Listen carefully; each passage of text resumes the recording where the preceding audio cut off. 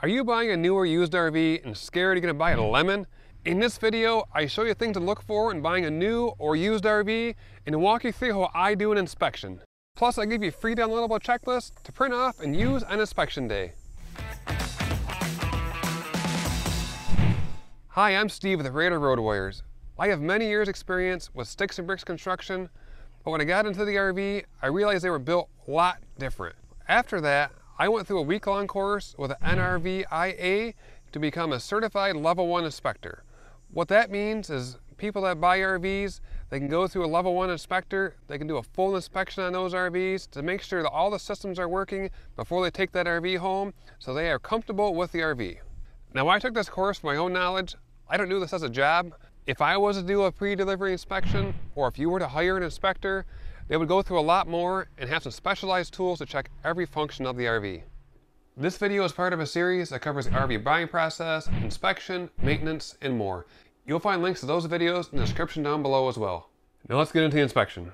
Hold on a second. We were gonna do this video when we bought a new RV, but six months later, the new RV hasn't came. So this inspection is with our current RV, there's a lot of things that we took out of here so you can see the RV, but still a lot of things tucked away in the cabinets and drawers. If you were to buy a new or used RV, you should be able to see all the areas that you want to inspect on it. Now, let's really get into the inspection. Page one of the printable PDF is some notes. You can read through that and review it. We're going to start with page two, which is the interior of the RV. So to start off with, we're going to check some of the plugs around. You can bring a small appliance along with you, or you can grab one of these little plug testers. I got it from Walmart for 5 or $10. So we're going to check some plugs around the RV to make sure they're working properly. So when I plug this in, this will give me some indicator lights. If I have two orange, I'm good. If I have a red, it's bad. You can see the little chart in the front of it. So we're to check every plug as we go through the RV. And you're also to test the GFIs. When you push a button on the front of it, that'll trip the GFI to make sure that system's working properly. And just remember, you need to be hooked up to electricity to make sure all these plugs work on the inside. We're to open up all the windows and make sure everything works. Some windows are frameless ones where they push out this one's an emergency one, and the one next to it just to be a crank out one. These will open tough if they sat for a while. There it goes. So it is ready open, and then lefty to close it.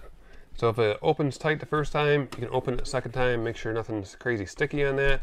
But as they sit in the heat, they do get a little bit sticky, and they'll set that way. We're gonna make sure that the sliding windows go up and down and they latch. So we'll bring those back down. And while we're here, we'll check the blinds, make sure they go up and down properly. So they should go up and stay. When it's really hot and cold, sometimes they'll stick a little bit, but that's normal. But they do move and they latch where they should. That's what you're looking for. Open and close all the interior doors. Make sure they open, close properly. The latches hold the door where it's supposed to be. Get down on the floor and look everything over. Look for any rips, tears, walk through every inch of the floor, check for any soft spots. So we'll take our hand, we'll look around, especially by the slides areas. That's where things come in and out and really can rip the floors when they're working. A soft spot in the floor would be if you're walking around, you feel it's spongy as you're walking. You're gonna have a little bit of give in all these floors, but you don't wanna feel like you're gonna fall through to the ground below you. While you're looking at the flooring, you see any bulges or curling in it. This is kind of normal around the slides where the edges will peel up a little bit. Some RVs will be a little bit more than others. This will just kind of sit there a little bit, especially if a slide just came out. A lot of times this will be bunched up on the island areas. It takes a little minute to flatten out. So you have to use your discretion if that is good or bad, depending on the situation. Looking over all the cabinets and drawers, we're to open every door, make sure it opens, closes properly. While it's open, we'll look at all the hardware in the sides, make sure nothing is loose, no screws are falling out. On the front of it, we're going to look at the handles, all these things are tight. You can go through every screw with a screwdriver if you want to, or you can visually go around and look at all the items around it, make sure things are in good shape. As you're going through all the doors and cabinets, don't forget about a sliding wardrobe if you have one of these doors. A lot of times these have misalignment on them, but they don't open very smooth or they don't latch properly. And also when you're up in this area, a lot of the hardware in front only have small screws inside of there. They can loosen up really easily. So check inside of all those cabinets and wardrobe areas also. To do an inspection, you have to get into every inch of the RV. The trim is going to be something you're going to find a lot of little pieces that are loose like this. It's a simple to nail back up. So check around all the areas, make sure things are tight, because you might be frustrated when you get to your first stop and things are falling off the ceiling. Now we'll go into the furniture area. So we'll start with the mattress. You want to pick it up, look at the mattress underneath, check for any mold, any rips or tears in the mattresses. If you're buying a new RV, it should be a new mattress inside of a bag. Look through the furniture and all the stitching, check for any rips or tears in material. Sometimes you can have some loose things, especially around the bottom. Just a string hanging out, no big deal. But if it's gonna fall apart, that is a big deal. Make sure everything functions on these things. Take the recliner, pull it out, everything leans back. Oh, sorry, Diesel. Lost the cat. Make sure everything closes properly and it doesn't drag on the floor. When you're checking your dining room table and chairs, you're making sure everything is screwed in properly, everything functions properly. If your table has a sliding leaf that pulls out or one that folds out, make sure that works properly as it should. Believe it or not, I've seen some RVs where these tables are installed backwards, where the leaf is towards the window where you can't use it. People don't realize that until they get home. Just a matter of unscrewing the table and putting it back in. It is one of those things you want to check. Every table should have some dining room chairs of some sort. Ours had four that came with it. Not these ones. These are a cat scratching posts. We have the chairs that came with it up in storage. We'll put those back in it when we go to sell the RV eventually. When you're checking out your sofa beds, fold them out all the way and make sure they are flat. We had one that had legs that were too long. It didn't sit flat. We had to take care of that in a warranty hmm. issue. We've also noticed with this couch in particular, when we travel, a lot of the screws pull out of the flooring and they come loose. So you want to check these things, make sure it's screwed in properly, and then fold everything out. You can look at the screws underneath when you're folding out also. What I normally see is people buy an RV, they're so excited during the process, it's so overwhelming between the finances, a new RV, it's shiny, it's great. They don't check many things on it when they get home or take their first camping trip and they realize that there's issues here or there, little things, and it drives them crazy because they have to fix those after the fact, whether it's themselves or take back the dealership. That's why this inspection is so important to do before you take it off at the dealer's lot. Now looking at the appliances, we'll start off with the smoke and CO2 detectors. You can check them by pushing a button on it. If you push the button and it doesn't work, you might want to take it, open it up, make sure that the plastic tab is out of the battery. The same thing as CO2 detectors. There's a button on those. You can check that. I'm not going to push these buttons because they're going to beep and really blow out the speakers on this video. Looking at the microwave, you want to make sure everything opens properly in the door, closes, it works, it's fastened properly. If you have a coffee cup, you can put some water in it, heat it up, make sure everything functions properly in a microwave. Looking at the stove, open everything up so you can access the burners. Check the burners, make sure everything works, and the stove also. Run each burner for just a little bit to make sure you have everything working. Turn them off. Make sure you know how the oven works. Sometimes the igniter lights the oven. The other times you have to have a physical lighter to light the pilot light in the oven and then you can turn it on from there. Look at the outside of the fridge. Make sure the doors are aligned properly. Everything looks like it's square where it should be. Do the dollar bill test. You take this, you open one of the doors, you put it behind the seal. If it has a little bit of tension on it, it's good. If it's really loose or really tight, might need some adjustment on one of those seals for that part. When you're checking the functions of the fridge, ours is a gas and or electric fridge. So we'll push the buttons on the front, make sure it works when it's on electric only, on gas only, or on auto mode. You can go through the cold settings to make sure everything functions on the front. You should hear it running and know that it's working from there. Go around all of your TVs, make sure it's secured properly. These are usually on mounts, and the mounts could be installed crooked or barely holding on and turn the thing on, make sure it works, know where the antenna booster is. The dealership might have to help you to know where those things are inside the RV. Most RVs come with a CD or DVD player. If you're going to use the functions on that, you can bring a CD or DVD to make sure that part works on it. A lot of times I have a Bluetooth on those as well. Make sure it links up to your phone so you can see if you want to use all those functions that it works or you know how it works and the dealership might be able to help you figure that part out. Now we're on the HVAC, which is your heating and cooling systems. Ours has an air conditioner in the front and the back. We'll check both of them the same way. We'll go through this thermostat, turn it on to cool, make sure things start blowing cold out of the AC unit. When you're going around checking the AC, listen for any extra noise comes out of the air conditioners. Some are going to be noisy in general, but anything rattling or loose is what you're listening for. After you check your air conditioning, we're going to check the furnace. Some of these things are going to be difficult in the hot or cold months of the year, so you might have to turn this thermostat all the way up until it's going to be warmer than your actual temperature on the inside to make sure it kicks on. You can't hear that it's running in the video, but we'll check the vents, to make sure it feels some warm air blowing out of all the registers for the furnace. Once you've verified the air conditioners and the furnaces work, you've gone through all the functions on the thermostat, so you'll know everything is good in that department. Next on the list is plumbing. If you're getting some value out of this video, please give it a like so other people can find it as well. To check that you have hot water in the RV, you need to check the hot water heater. Sometimes you have an electric function, sometimes a gas function, sometimes you have both. So we're going to turn the electric on first. It'll take around 10 minutes for the water to start heating up on that. So we'll let that go for a little bit, then we'll check some of the faucets, see if there's hot water coming out of them. And then we'll know the electric element works. We turn off the electric part, then turn on the gas part, make sure that the gas kicks on. You should hear that kick on from the inside of the RV, and the water should get hotter as the gas function is running. I have seen in some RVs these switches are backwards, so the gas might run electric and the electric runs gas, vice versa. That's why it's important to do one at a time. You might not be able to check all of the water functions at the dealership if there's no water hook up to it. You definitely don't want to turn the hot water heater on without any water inside of it. So if you have water hooked up and hot water heater is heating, we're to check all the functions of your faucets. Starting in the kitchen, we'll turn the hot on, let it run for a little bit, make sure hot water comes out, and do the same thing with the cold side. And you're to check underneath of the sinks for any leaks. You've ran some water through it, so if there's any leaks on the drains, you'll be able to see that. I also go around at that time, make sure all the lines are tight and the water coming in and the drain water is going out. If you have a washer and dryer, you want to check those connections, make sure they're leak free and tight as well. In the shower area, look at all the silicone around the top and around the door area. You want to make sure nothing is missing and no gaps are in there. Any screws are loose. When you're going down the track all the way to the bottom, some RVs don't have doors like this one does, but there's a couple holes that are in the track that drains the water back into the shower. I've seen pictures of people that had these installed the wrong way where water is draining out to the bathroom floor. That is something you definitely want to get fixed before you take the first shower in the RV. RVs have two systems on them. They have the plugs you plug things into and all the lights. The lights are your DC system. We'll make sure all of those functions work on them.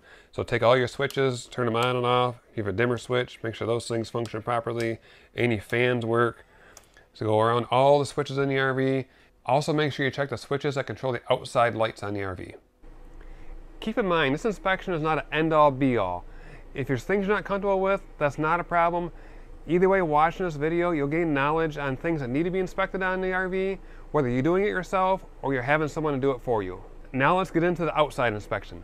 We'll start with underneath the RV. Looking at the belly wrap underneath, that's a black plastic that covers everything up. We're checking to make sure nothing is majorly hanging down. That'll never be perfectly flat, but it should be sealing everything up so no water, moisture, or rodents can get inside the RV. While you're down there, look at the frame. Check for any premature rust, any cracks in the frames along the welds, especially the suspension area. Some of those areas get beat up the most, and that's where you can have more issues than the rest of the RV.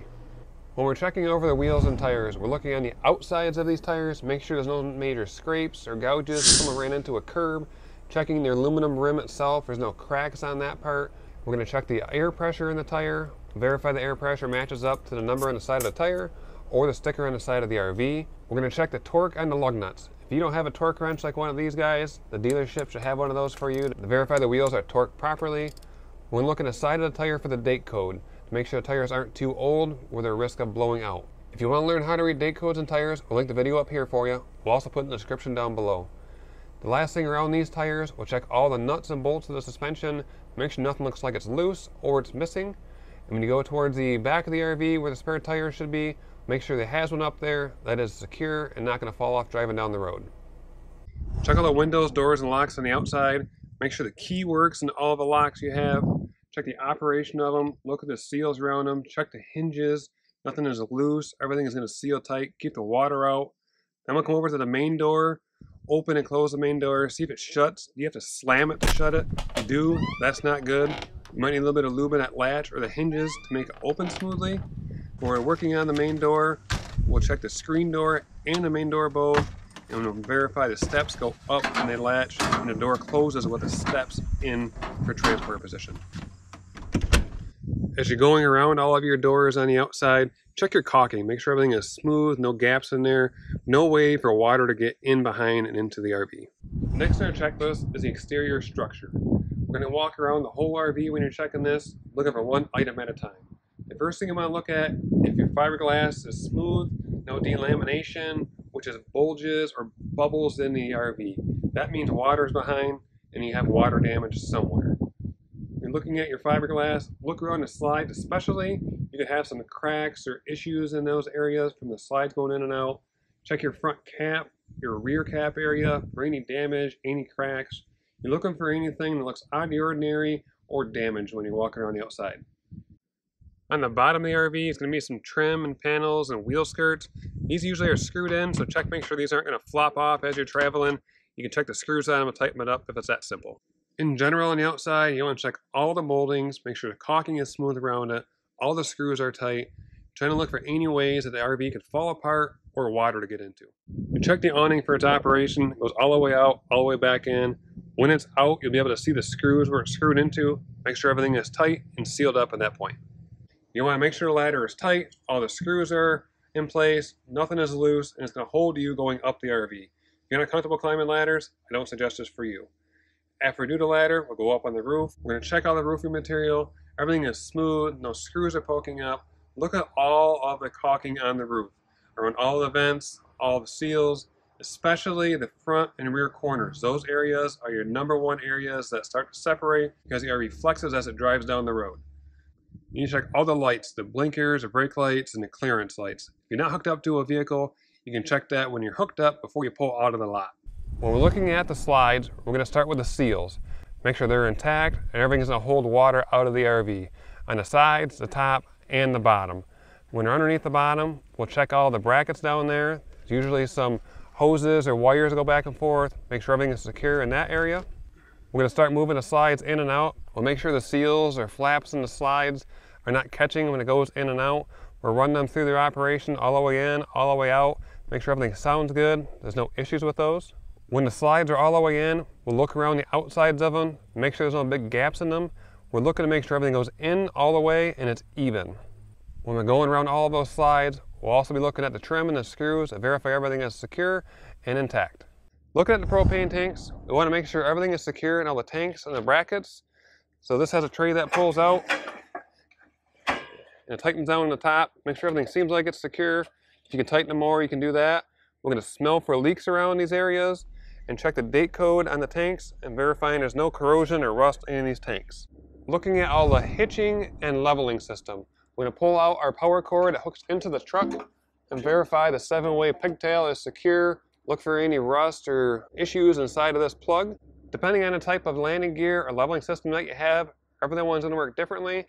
If you're buying from a dealer, they can show you how that works, or the person you're buying from will help you with that as well.